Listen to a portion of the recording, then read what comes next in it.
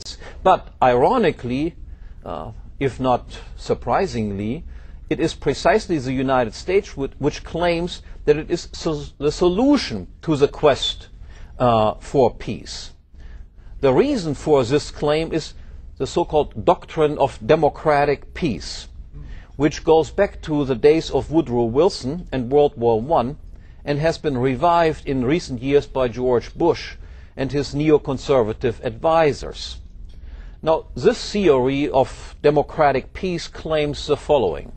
First, democracies do not go to war against each other. Second, hence, in order to create lasting peace, the entire world must be made democratic. And as a largely unstated uh, corollary, three, today many states are not democratic and resist internal democratic reform. And fourth, hence, war must be waged on those states in order to convert them to democracy and thus create lasting peace. Now, I do not have the patience for a full critique of the theory, um, but I shall provide a brief critique, at least of the theory's premise and of its final conclusion. First thing, do democracies not go to war against each other? Now, since almost no democracies existed before the 20th century, uh, the answer must obviously be found within the last hundred years or so. And in fact, the bulk of the evidence that is offered in favor of the thesis is that the countries of Western Europe have not gone to war against each other uh, in the post-World War II era. Likewise, in the Pacific region, Japan and South Korea have not warred against each other. Now, does this evidence prove the case?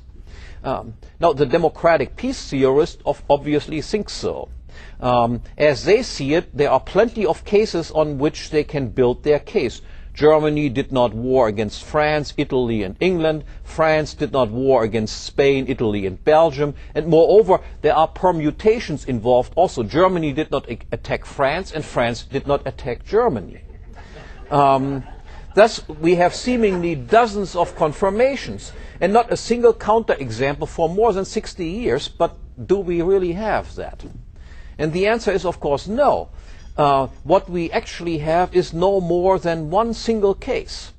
Um, with the end of World War II, all of Western Europe and Japan and Korea in the Pacific region became part of the United States empire, as is indicated by the presence of United States troops practically everywhere in these countries.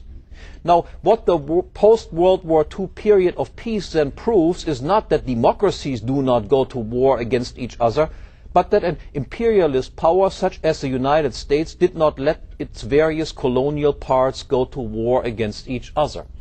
You also did not see, by the way, any wars breaking out between all those countries that were dominated by the Soviet Union as long as the Soviet Empire existed, from which we also do not draw the conclusion that communist dictatorships under Russian control do not go to war against each other. So because of that, we have to introduce something like this.